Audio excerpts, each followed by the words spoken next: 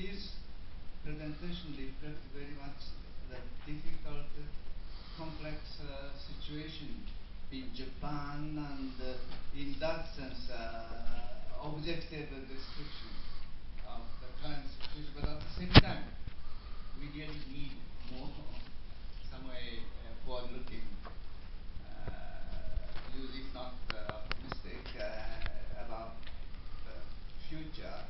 And uh, I also like to expect or appreciate that the Atomic Energy Commission, by their basic thinking by this summer, will provide clearer future picture, uh, promising and encouraging, particularly for the younger generation.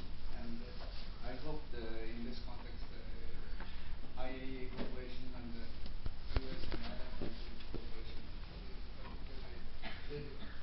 With that, uh, I'd like to ask the next uh, keynote speaker from the IAEA, now focusing on security issues, uh, Dmitry Nikolin. Thank you.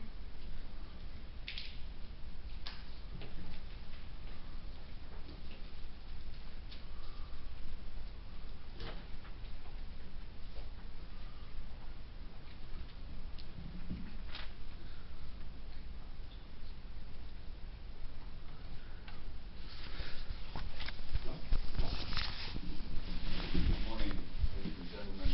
And, uh, It's a pleasure to be here in in Japan, uh, on the campus of the University of College.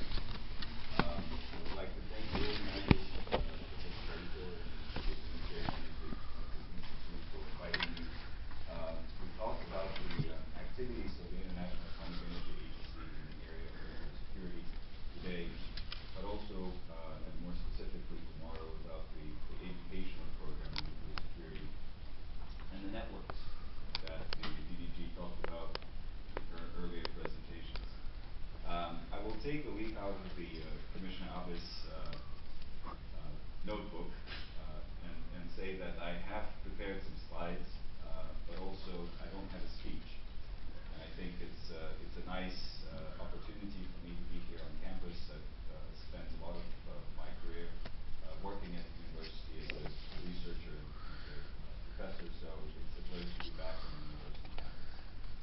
Um, I first wanted to talk a little bit about the, uh, the more broader context of the IAEA's work. And uh, sincere apologies to those of you who uh, have worked at the IAEA or know IAEA very intimately, so for, for the redundancy. But for, for many of you who are not familiar with the agency's work, perhaps this would be an important um, uh, introduction into the, the general scope of activities of the agency. This will be very brief, uh, but also the, uh, the place that the uh, nuclear security activities uh, occupy in that uh, range of, of work.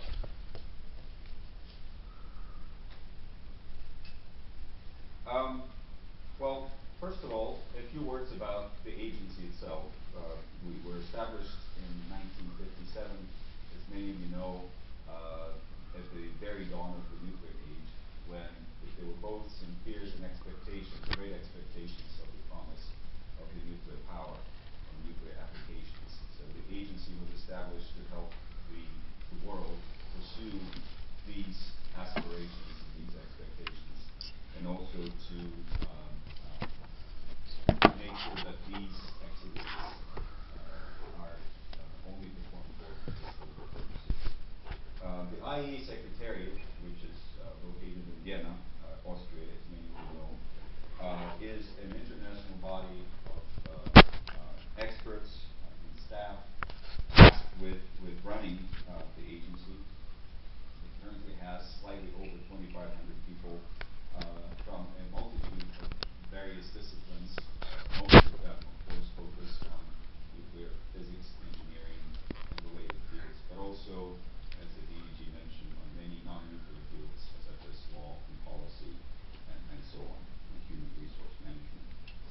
Uh, the staff come from over 100 countries and, uh, as I said, from many different fields. Now, the agency consists of the Secretariat and also the member states and the policymaking bodies. Um, the, the, the uh, IAEA is run by the, by the Secretariat and the Board of Governors, which consists of the thirty-five member states, which are rotating every years, and, uh, currently one hundred and sixty-seven member states. Um, as such, the IAEA is one of the larger uh, international organizations dealing with a fairly narrow uh, issue, particularly the peaceful and uh, uh, uninterrupted uses of nuclear energy. The IAEA mission is to maximize the contribution of safe and secure nuclear technology to society while verifying at the same time its peaceful use. Um, our work can be broadly categorized into three uh, areas. One is science and technology, safety and security, and safeguards and verification. And I will speak briefly about all three of them. Now, the science and technology, which was mentioned several times here, uh, really reflects what several speakers mentioned before, is that we tend to fixate when we speak about nuclear power, we tend to fixate on the production of electricity uh, for the use uh, in the various power programs in the countries. But that also includes a multitude of other applications, scientific applications, various nuclear techniques that are used in uh, medicine, agriculture, industrial, uh, various industrial applications, uh, geology, and so on.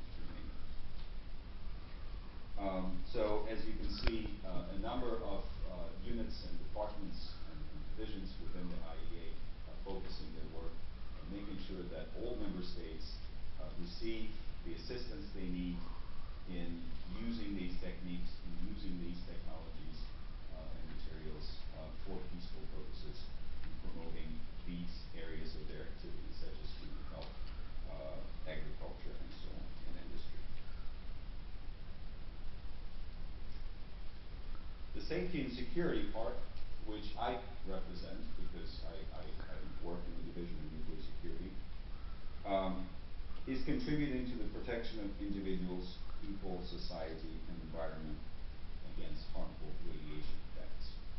And as you can see, this is a fairly broad statement that covers the entire range of possible threats and hazards that can uh, manifest themselves when the nuclear uh, technology is not properly used, uh, whether it was uh, a result of an accident, uh, a technical failure,